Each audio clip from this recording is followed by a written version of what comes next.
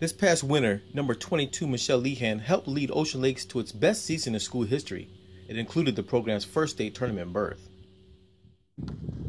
Now the senior wants to experience another state tournament run, this time in softball. The last time Ocean Lakes reached the state tournament was in 2010 when the Dolphins lost in the Group AAA state semifinals.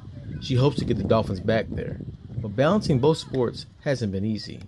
Um, it was definitely difficult staying focused on school and basketball, and then also knowing when I had to come right into softball, I had to be ready and prepared to lead this team to the level they should be at. Ocean Lakes coach Jack Wheeler had no doubt Michelle could get the job done. He said she's been a huge contributor to the team's success this season. Uh, it's a little bit of everything. I mean, she brings offense. This is the first year she's hit for us. Um, defense, she's been a, a strong contributor pitching uh, every year. And uh, just the intangibles that I can't coach, which is the leadership and uh, not just telling girls what to do, but showing them. Lehan will play softball next season at Lynchburg College.